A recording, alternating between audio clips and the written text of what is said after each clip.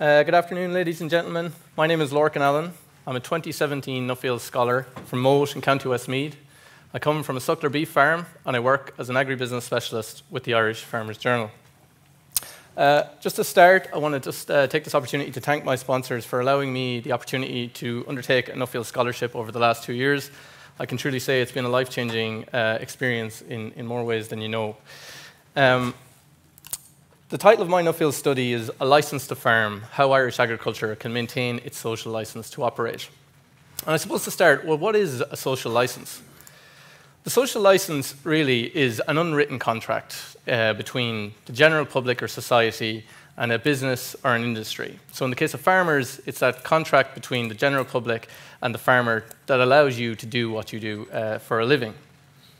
And the reason I chose this topic is because over the last two years, as I've traveled the world, I've noticed again and again a breakdown in the social license between farmers and the general public in a number of countries. I've noticed this in New Zealand, where environmental issues, particularly around water quality, had a major impact on the social license for farmers. Also, animal welfare issues in terms of the treatment of bobby calves in, New Zealand dairy farms. I noticed this in the Netherlands, where most consumers today are 20, 15 to 20 generations removed from the farm gate. Again, animal welfare issues is a major issue uh, in the Netherlands, particularly on more intensive farms such as pigs and poultry. Uh, and also, as Niall outlined, the phosphates issue since the expansion of uh, Dutch dairying since the end of quotas. I noticed this in the UK, where the glyphosate debate continues to rumble on.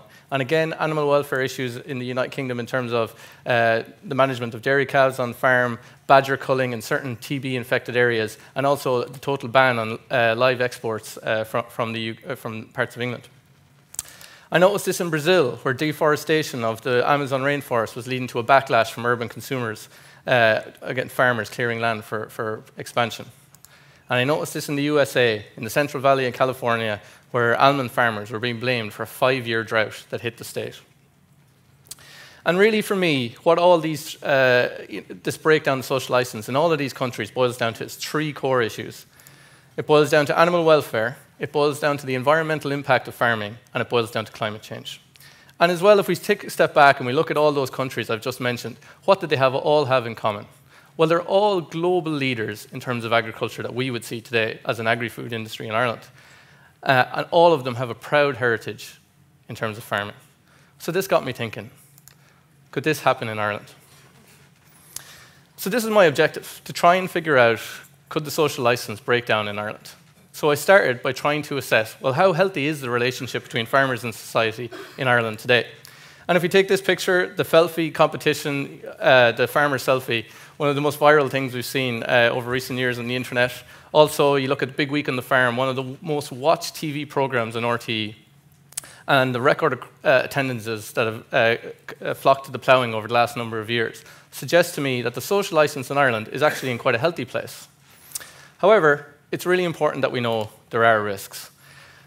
Under the Food, Food Harvest 2020 program and in the subsequent Foodwise 2025 program, we've seen a significant uh, expansion in primary production in this country. But with that expansion brings risks in terms of higher environmental risk, in terms of higher animal welfare risk, and in terms of climate change risks, because we're not meeting our climate change targets in this country.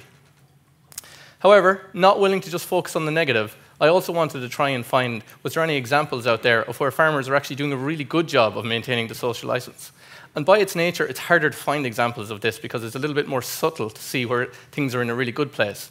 But I did find two examples out there. And the first is the Burren in County, uh, in County Clare. And the Burren is a very unique and sensitive ecosystem. It's the only place in the world where Arctic alpine flowers grow right next to Mediterranean flowers. And to protect the ecology of the Burren, farmers down there have come together with Teagasc, local authorities, and local botanists on the Burren to create a new measures based scheme that's funded by the European Union.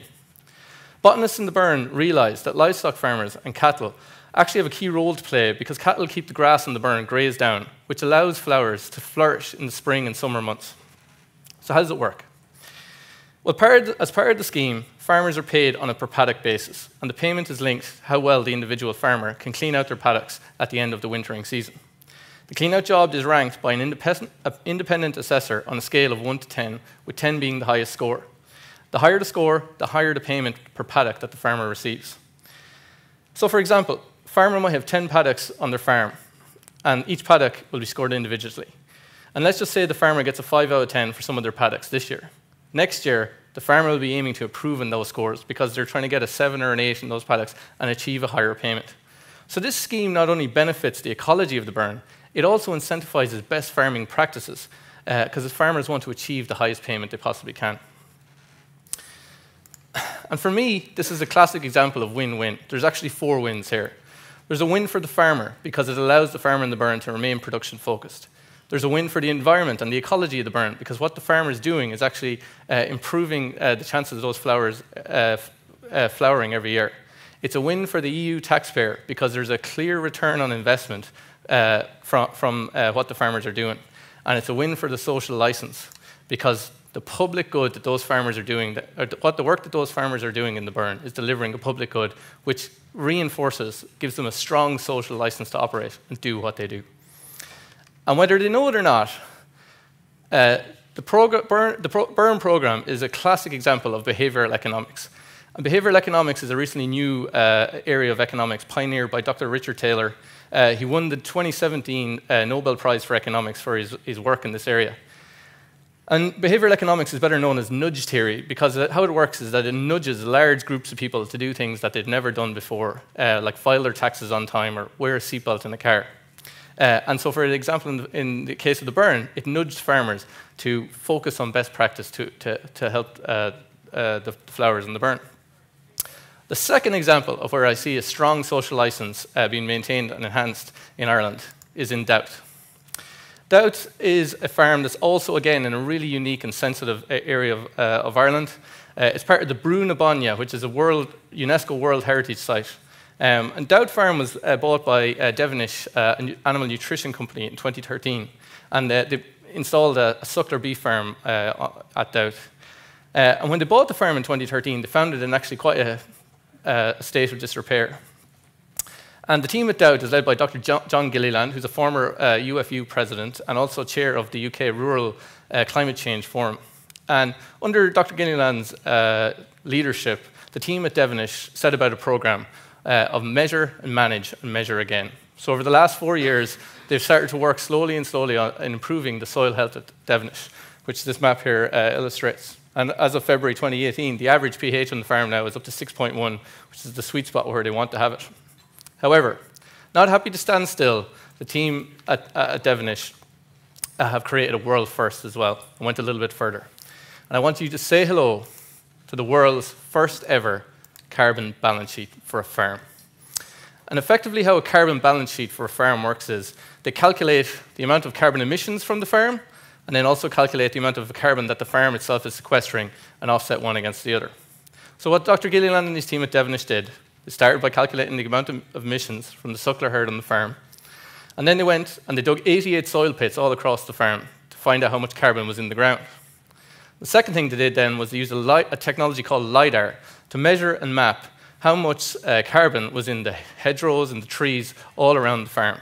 And with that, they were then able to calculate how much carbon is sequestered by the farm every year.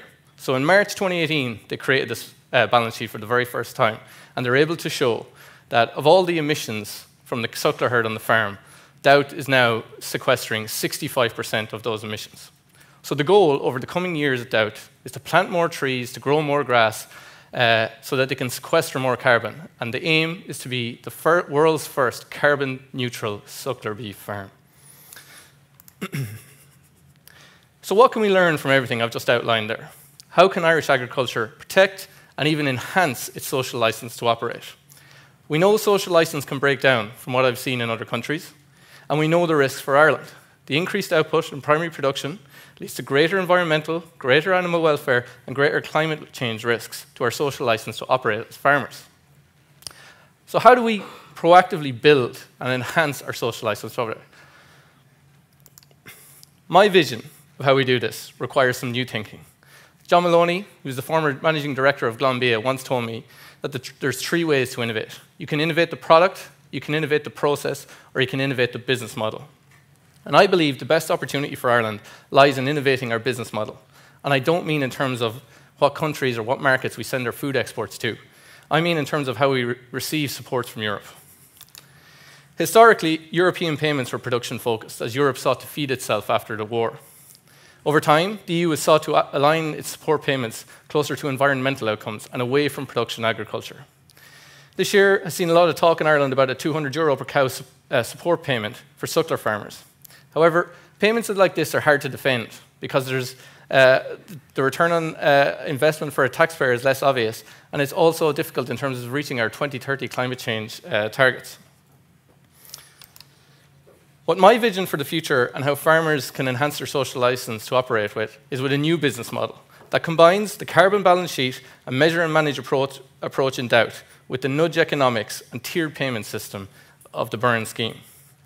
What I believe is that every Irish farm could create its own individual carbon balance sheet, and the goal in each farm would be to strive for carbon neutrality, just like at Dowth.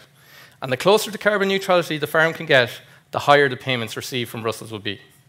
This would be a new results-based system that would incentivize the adoption of best farming practice, just like in the case of the Burren. So how would farmers go about achieving carbon neutrality on the farm? Well, they'd take the exact same approach as in Dowth. The scheme would nudge farmers to focus on improving their soil health. Only 12% of the soils in Ireland are at the correct pH.